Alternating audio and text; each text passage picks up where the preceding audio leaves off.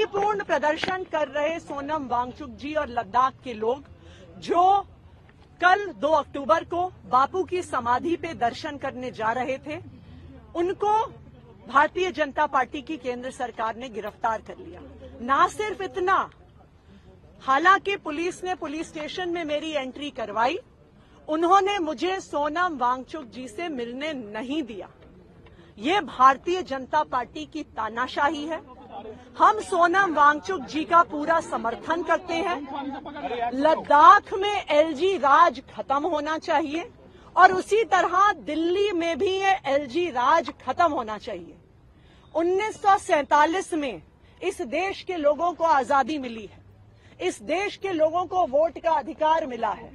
इस देश को संविधान ने लोकतांत्रिक अधिकार दिए हैं। लेकिन चाहे लद्दाख में हो चाहे दिल्ली में हो, लद्दाख के लोगों के वोट का अधिकार छीना गया।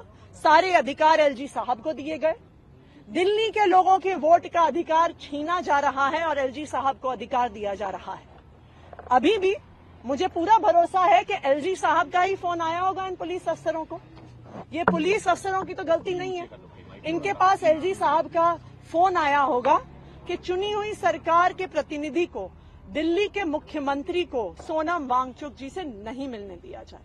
हम इसकी घोर निंदा करते हैं, उनके गिरफ्तारी की घोर निंदा करते हैं, और हम लद्दाख के लोगों की मांग के साथ हैं कि एलजी राज खत्म होना चाहिए।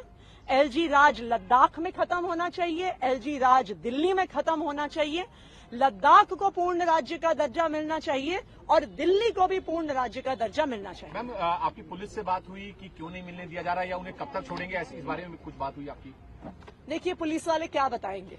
उनको जब एलजी साहब से फ़ोन आ गया होगा कि नहीं मिलने देना है तो वो कैसे मिलने देंगे? जैसा मैंने कहा कि आज के दिन में भारतीय जनता पार्टी की केंद्र सरकार लोकतंत्र की हत्या करने में, वोट के अधिकार छीनने में, संविधान को भंग करने में कोई कसर नहीं छोड़ती।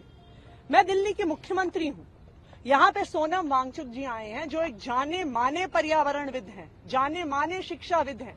यहाँ पे लद्दाख से हमारे डेढ़ सौ भाई बहन आए हुए हैं। क्या हमें इन्हें मिलने का अधिकार नहीं इनको क्यों गिरफ़्तार किया गया है? मुझे इन्हें मिलने से क्यों रोका जा रहा है?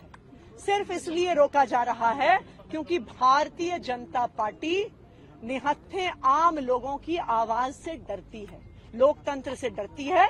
और आज मैं ये दावे के साथ कह रही हूँ कि ऐसी ही भारतीय जनता पार्टी की तानाशाही रही, लद्दाख से भी एलजी राज खत्म होगा।